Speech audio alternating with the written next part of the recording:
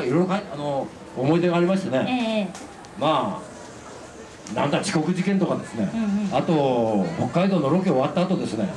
あの挨拶に明日帰りますんでって言ったらですねちょっと入んな母ちゃんって言って。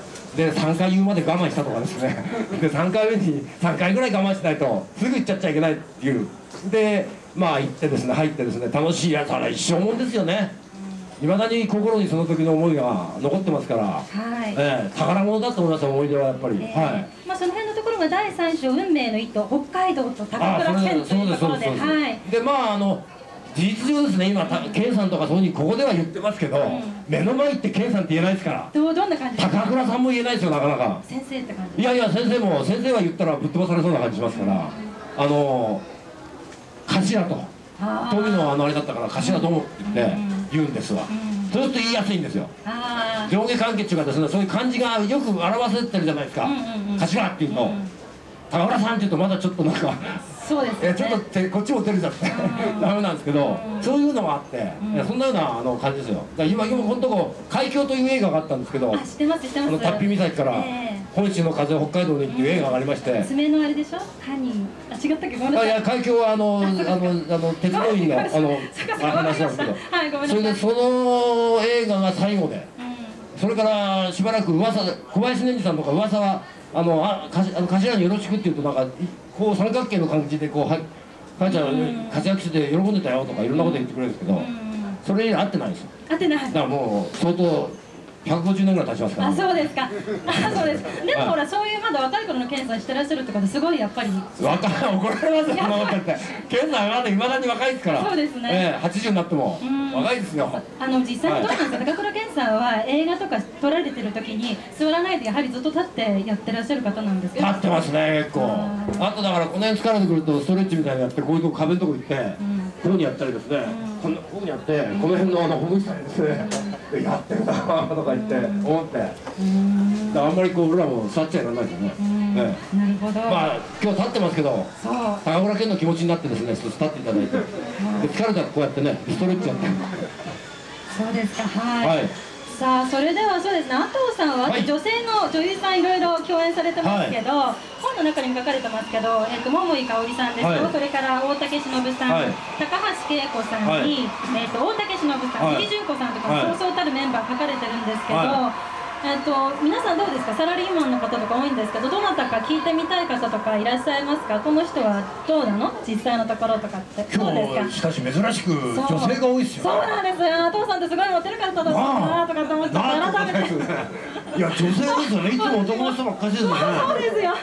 そうすごい。珍しいっすよね。だからそれで年食ったお母さんが多いんですよね。あそれはモテる方いやなんです確かにね多いんですよ、若い人あの辺にしらほれるぐらいで、あーじゃんけんしたら負けるかっていうぐらい少ないですから、はい。い。やどうもすいません、ねえこんなこと言ってるわけじゃないですからね、嬉しいなと思ってます。ね、はい、じゃあ私事で恐縮なんですけど、はあの高橋恵子さんって方はどういう方なんですか、高橋恵子さんはあんな方ですね。っていうかね、あの私ね、あの天地房子さんのコンサートを見に行った時に、高橋恵子さんが前に座ってたんですよ。で高橋恵子さんほら幼妻とかああいうああ昔の大英の頃ですね。そうそうそうそう、はい。そういう妖艶なイメージがあったんですけど、はい。実際にその天地房子さんのコンサートを見にいらした高橋恵子さんっていうのは、はい理知的で、学校の先生をこう思わせるようなそういうセンスの方だったんですね。あーあーそうですね。全然もう違うんですよね。はい、まあそうかもしれないですね、うんえっとだからあー大体総じてここに書いてあるあの女優さんは、え女優女に優れるぐらいですから、うん。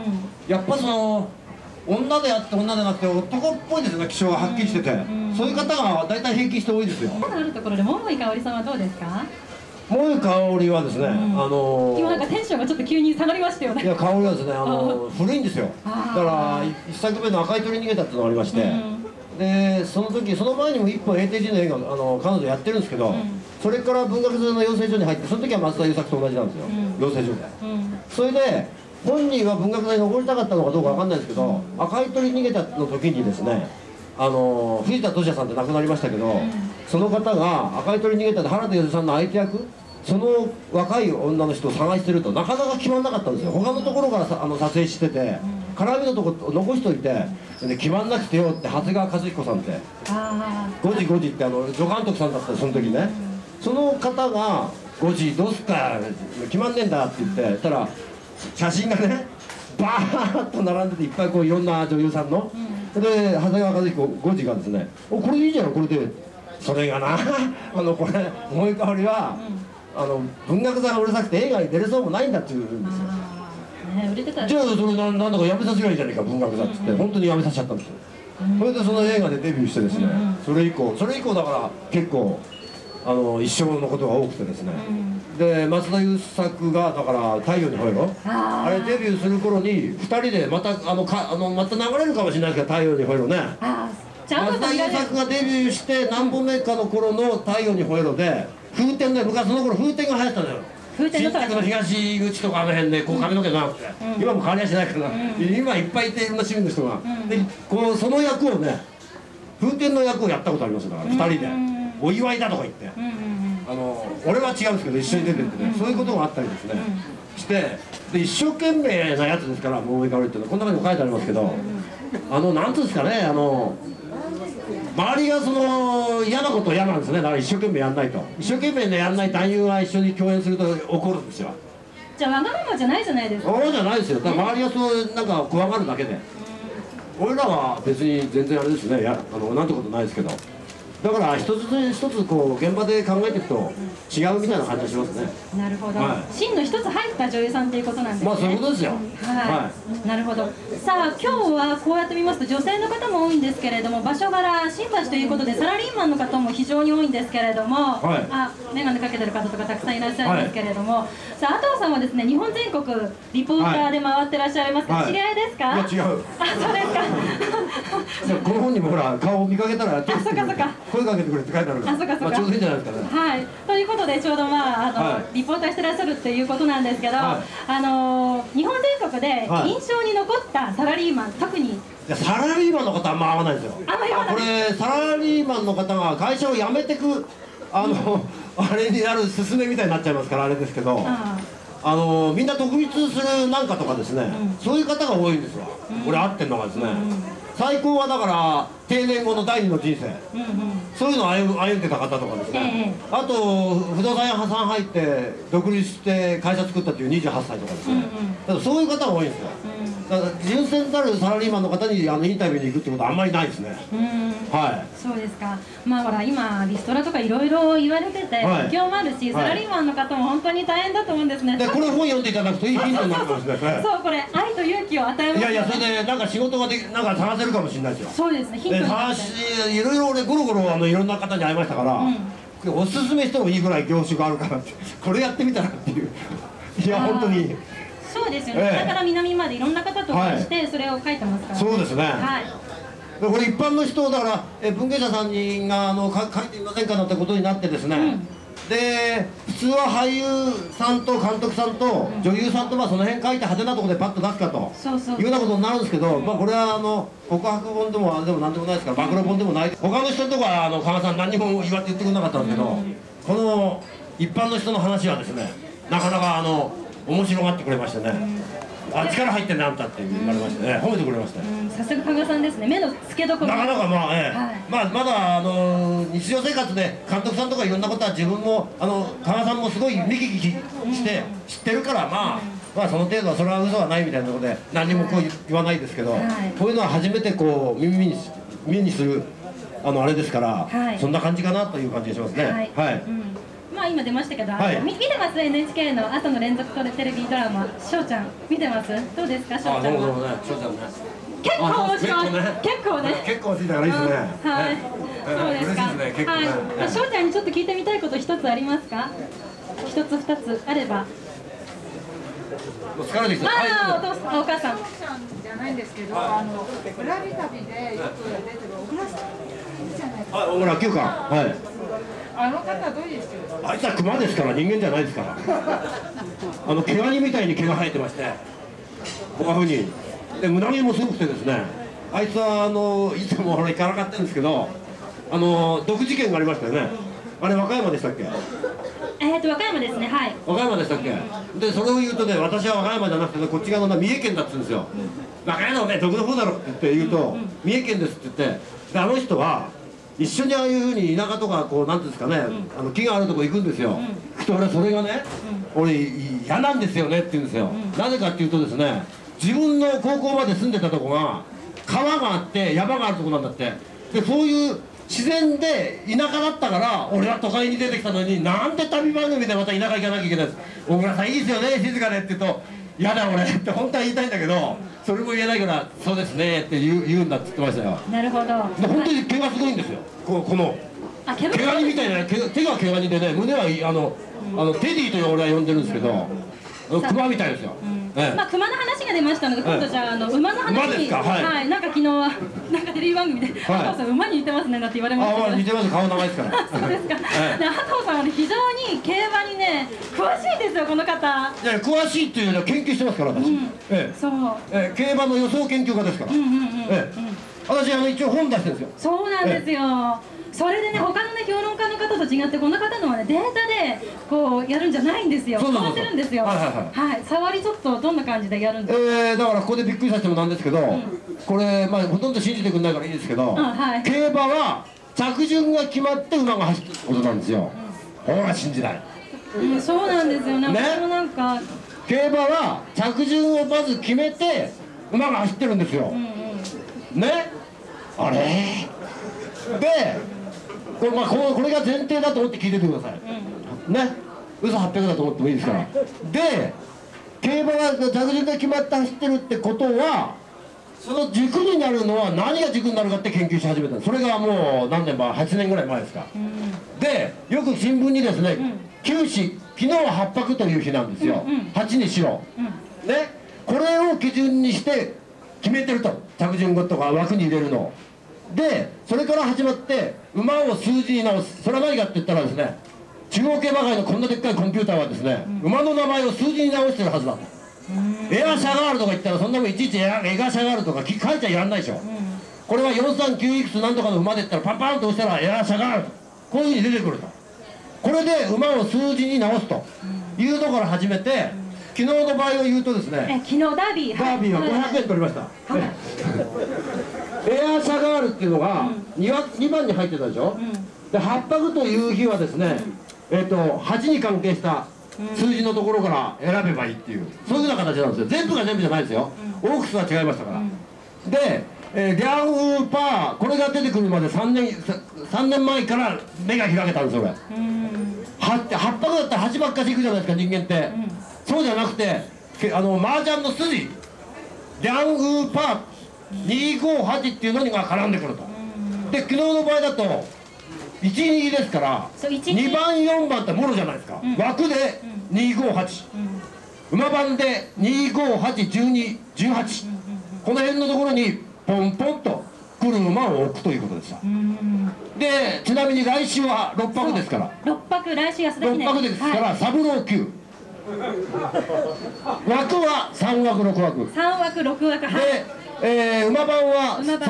3691316三六。九十三十その辺にそれらしい馬が置いてあったらそこを買うんです。うん。もっと細かいことはあのあるんですけどね、ええ。大まかに言うとそういうことです、うん。えー馬はですね、着順が決まって走ってると、これを今日認識して帰っていただくと、負けが少なくなるという、買わなくて済むということになりますよ。なんかうなずいてる方もいらっしゃいますあそうですね。嬉しいですね。ねえそんなような、えことを研究してるんですよ、だから、えーバーンと競馬で勝てとかっていうよりはですね、あのし失踪表ってあるでしょ、えーレースないないとか。あれが出たら、こうパパッとこう数字に直してですね、この辺が来そうだっていうのをやるのが面白いんですわ、なるほどで阿藤さんはこんなこんなこと言ってますけど今まで大儲けしたことは何回かあるんですか？ありますあります。どのどどのくらいですか？金一額番最後はあのー、80万ぐらいいったことあるんですね1レース一レースですよ。えっといつ頃ですか？うんそれは何年か前かな。あそれが一番儲けたやつです。えいくらぐらいかけて？うん1万か2万ぐらいじゃないですかその時。1万もかけてなかったかなたうん。だからた買い足すんですよ。最初だからその時は1号が来たんですけど枠しかなくて、1号が来たんですけど最初1000円買ってだんだんだんだん増えていくんですこう、うんうんあこれだな。これだなってこう見ながらあこれだなってだんだんだんだん絞れてきて、そこを買うと。だんだん多めに厚く、そういうふうにあの暇で競馬場行ってないとそういうことはないですけど、ええ前売りかなんか買ってる分分にはそんな俺は500円ぐらいしか買わないですから、はい。だから、えー万馬券当てても20万とか、うんうん4万とかの万馬券だと20万とか、それでもすごいですよあそれでだからそこから来なくても、うん。だからそれでドンと埋め合わせがつきますから、ん。まあそんなに負けてはいないかもしれないですね、うん。はい。さあ女性で競馬やられる方とかいらっしゃいますか？だどなたか？阿藤さんに何か聞いてみそたい？れ一応ここで聞いたらあの聞いたら避けるんじゃないみんな一応。あそうかそうか。世間的には。そうかそうかそうか。まだそうだろうな。じゃああの競馬以外のことでもいいですよ。せっかく阿藤佳恵さんおそばにいらっしゃいますから聞いてみたいこと何かありませんか？おや？そうはなかなかな。こっちから行かなきゃダメだろあそれなここここはい。若い方がいますんで。あーあ逃げちゃった逃げちゃった。あー。やっぱダメだわ翔ちゃんモテなくて。ダもメ逃げられちゃったもん。いやでも翔ちゃんほらあのドラマの中で。たそこそこここは違うかそこは桜かな。あ。えっと、アホーカーさんは、あの落語がすごくお好きってことで伺ったんですが。はい。はい、あの、どういった方？えここはあのここって新庄さんが好きなんですよ。あそうなんですか。えちょっとじゃあ新庄さんのうんいや触りなんか別にできませんあんな師匠のあんた。そうですか。で何が好きかってのはですね、うんうん新庄さんは若い頃に今もうあのテープが出てたりいろんなの出てるんですけど出てますよいろいろ。CD 昔あの LP のレコードが出まして、うん。それが1万円ぐらいでないくつかの話が入ってるのがあって、うん。それを聞いてですね、うん。それいっぱい入ってるんですよ若い頃から年食ったところまで、うん。で若い頃はですね、ものすごい早口なんですよ。そうですね。ものすごい早口なんですよ、はいはい私も聞いで後半になって「まえー、どうもこの」なんてこういうふうになるんですけど、ん。